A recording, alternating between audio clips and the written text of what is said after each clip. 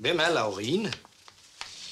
Min grandtante for siger sted... øh, Hun kommer også til begravelsen. Åh oh, nej.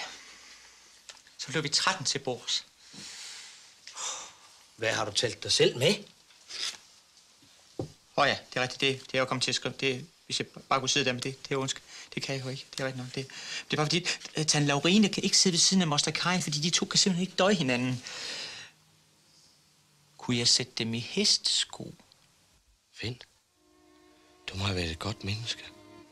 Så mange, der er så ked af, at du døde.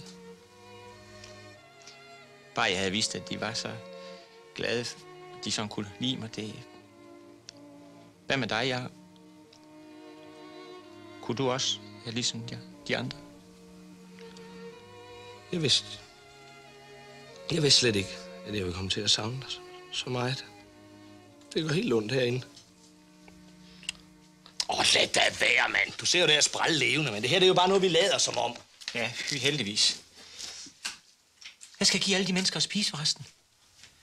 Sådan et sted, der skal altså ikke spares på noget, Jacob.